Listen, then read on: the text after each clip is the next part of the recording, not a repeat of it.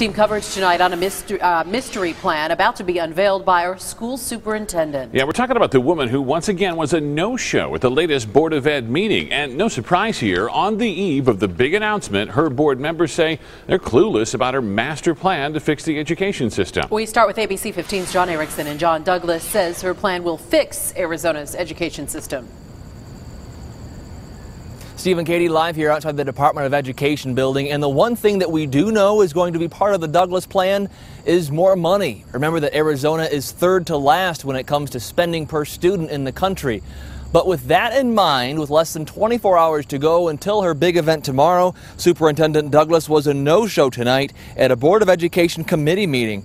Her spokesman told me that she skipped it because she was babysitting and because the meeting was going over a topic that's part of continuing lawsuits with the board.